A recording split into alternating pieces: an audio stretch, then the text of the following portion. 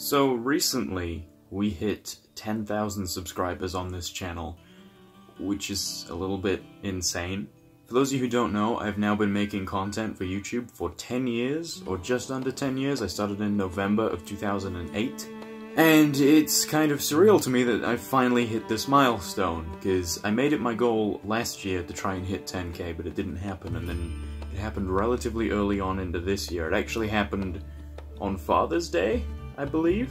So I wanted to do something special for this, uh, and I really couldn't think of much. I didn't want to do like a Q&A or anything, because like I have my Twitter for that and stuff like that. Uh, and I also answer questions in the comments all the time. I didn't want to do, you know, the typical 10,000 subscriber or subscriber milestone uh, stuff that people do. So I racked my brain for several weeks, which is why this is coming out so late. And once once I settled on an idea, I got a, I got with a friend, my friend Sid, and he helped me produce something. That sounds inappropriate. He helped me produce a video that I really hope you guys are gonna enjoy. So I'm gonna go ahead and let that play. And put it this way, if you've been a fan of my channel for a while, or even if you're brand new, to be honest, I think you're gonna love this. It's, uh, it's a video that I made myself that I get giddy watching, so take a look back, shall we?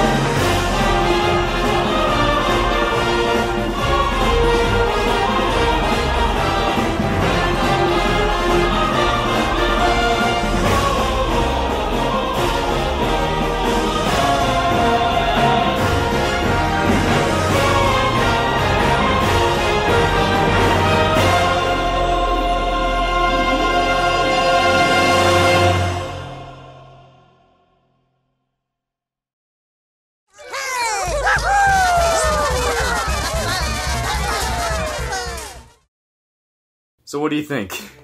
I I love that video. Uh, it's a showcase of the first 58 Let's Plays that I did, and I got, I've oh, I'm getting emotional. I love what I do here on YouTube, I love you guys for watching, and I, I cannot thank you enough for subscribing and sticking around. Now, I wanted to do one more thing uh, for this subscriber special, and some of you may not see this as like something that I'm doing for you guys, but in a way I am. Long story short, for a while I've had a few people here and there ask for a way to support me, and I'm sure you already know where this is going.